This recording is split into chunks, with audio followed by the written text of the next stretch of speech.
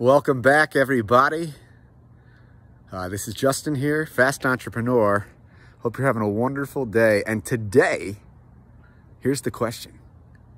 Is blockchain, is cryptocurrency the next internet? Let's find out. Here we go. So, beautiful day out. As you can see, the flag is flying and we've got some wind. Wind in the sails. So here's the question that I want to talk to you about today and just my thoughts. So we all know that the internet now is has taken over basically most parts of our daily lives, our business lives. Um, it, it's, it's, it's here and this is 2021. But, you know, rewind 25 years ago, um, there were people that believed in the power of the internet, uh, probably very similarly like that people believe in the cryptocurrency and blockchain space. Uh, but back then, the internet hadn't quite made it. Nobody really knew, you know, what a website was or www or, you know, the at symbol and, you know, sending emails or whatnot.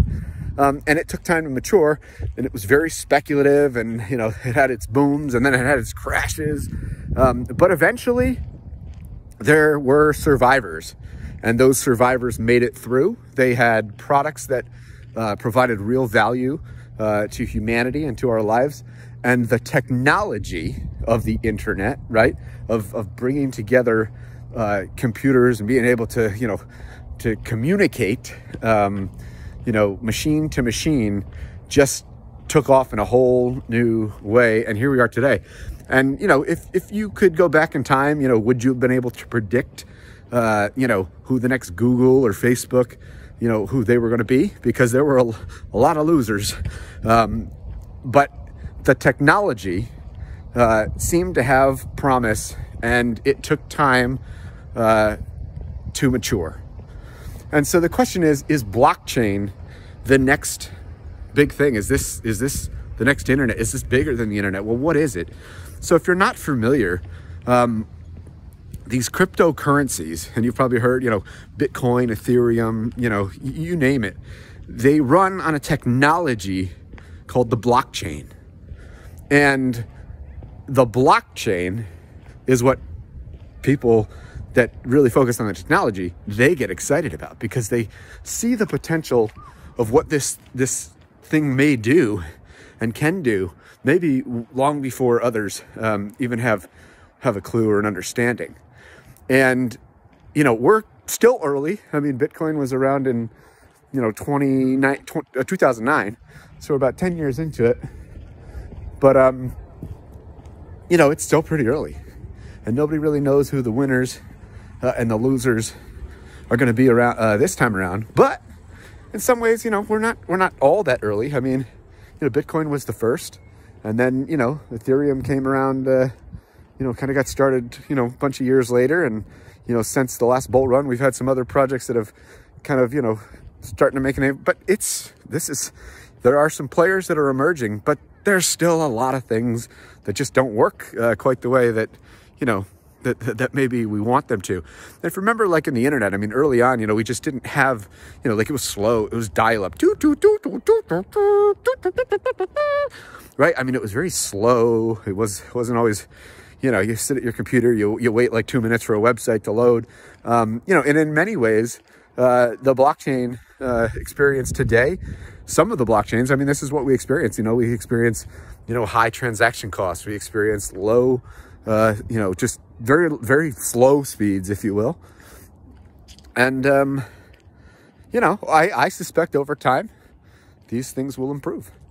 Um, you know, we, we, we, we have you know, different blockchains right now and some can't talk to other blockchains. And, you know, so over time, you know, these things, these problems, they, when they get solved, uh, you know, we can see something truly amazing. Uh, but when's it going to happen and will it happen? So what is the blockchain? And the blockchain is simply a technology that is transparent uh, and be unbelievably uh, cannot be changed or hacked um, and allows for um, truth and, and, and trust to be put into trustless systems. It allows for decentralization uh, in, in, in, in many uh, aspects, meaning that it's not owned by sing single companies or, or, you know, any one individual. Um, it's, it's owned by a network, a, a bunch of just computers uh, running these nodes. And so, but is this really the case or is this just the dream? And you know what? What's interesting is, I mean, listen, I could argue for the ideal, but in some ways, you know, maybe this is the ideal, but maybe this is not where we end up. Uh, take, for example, the internet. I mean, when the internet was, you know, first getting started is a lot different than, you know, what the internet is today. And, you know, one could say that, you know, even with blockchain, at least the blockchain as we know it today, you know, there are theoretical risks, maybe 51% attacks, uh, meaning, you know, if, if just over majority, um, you know, can either uh, of these miners, these, these validators um, can, you know, own control of the network. Uh, they can decide the fate. Um, and, you know, maybe it could be a, a centralized feeling. I mean, we already have some of the most successful projects. You know, some are decentralized, but some are centralized. Um, you know, take Binance Coin. It's uh, it's in the top three now. You know, in their ecosystem and their exchange. I mean, they can yield a lot of power. Um, you know, and yeah, maybe right now, you know, Bitcoin is held by a bunch of different people and a bunch of different miners, but these miners can get together and join these pools. Um, and, you know, you can start to see how coalitions and things could change the game as we move forward. Now, I'm not saying that that necessarily changes the potential uh, and the power of the technology, but it might change the landscape uh, and the vision of what some of these people that started out for a truly decentralized world. I think that just is going to depend on what people want to use. Um, you know, if, if, if enough people truly want to use a decentralized um, you know, platform, then I guess, and you can keep it that way, then, you know, more power to you. Uh, but time will tell. And now it's very volatile, right? I mean, so far we've been going through these cycles and it's been all around Bitcoin and about every four years, Bitcoin goes through a halving event, which means the amount of new Bitcoin being minted basically is cut in half. So it's supply and demand, and we go through these, you know, these ups and these downs, and the rest of the the market follows. Now it's very volatile, and I think, you know, some would say, and I would say too, that probably over time, uh, the market becomes less and less volatile as we move forward, um, because it seems like as there's more mainstream adoption, uh, there's more, you know, practical uses uh, for many of these things these, um, you know, take the internet. I mean, today, yes, even tech stocks, you know, they can be volatile, but you know, you're, they're not probably as volatile as uh, as they once were. Maybe that's because we're 20 years later and it's matured as an industry. Maybe it's because we're looking at, you know, at, at, at big blue chip companies that have already made it. I mean, these are the winners.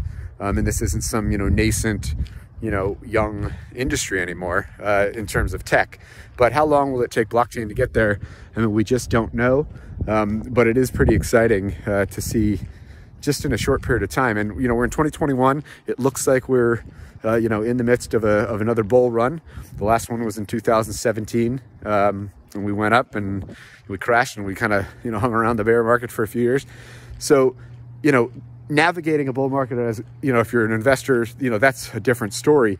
But if you believe in the technology, um, then you probably believe that this isn't going away uh, anytime soon. And so the question is, you know, what what do you see? I mean, are you looking for this year, or are you looking for five or ten years?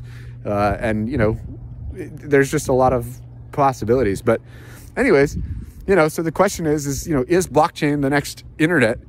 Um, you know, that's up to you to decide how big you think this uh, technology can be. But you know, if you let your imagination be your guide and you do a little bit of research to see where we're already at and to see what we can improve upon and what's already happened to this point, um, you know, I guess you'll you'll come up with your with your own answer. Until next time, see you later.